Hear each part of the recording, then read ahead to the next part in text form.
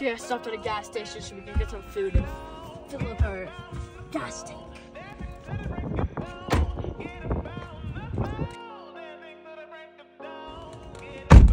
So how much was it?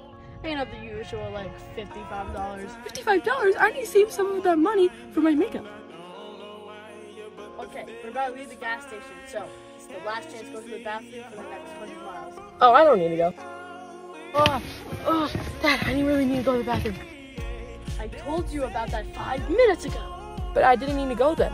A person who thinks all the time has nothing to think about except thoughts. Before I go to the bathroom, let me put on my shoes.